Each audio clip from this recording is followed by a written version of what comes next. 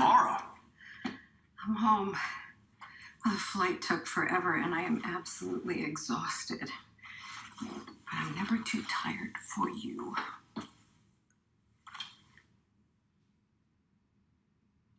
Hmm, Laura, uh, what? You're you're back already. Wow. Not really the warm welcome I was expecting. Oh, uh, no, no, no. Uh, just, boy, you surprised me. Yeah, but I don't know. I didn't think you'd mind if I came home early. Mind?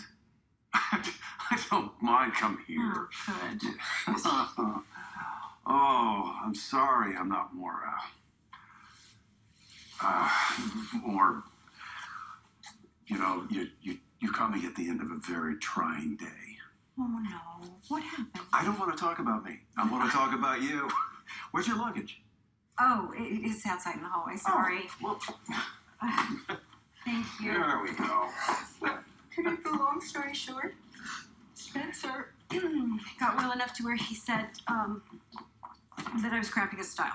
So I took that as an opportunity to hop on a plane and surprise my husband. For which he is very, very grateful. Good. You know, I was in such a rush to come here, I didn't even tell Lulu that I'm back.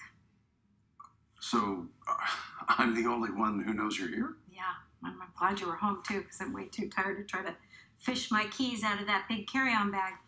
Well, you sure surprised me. How long are you here for? Forever.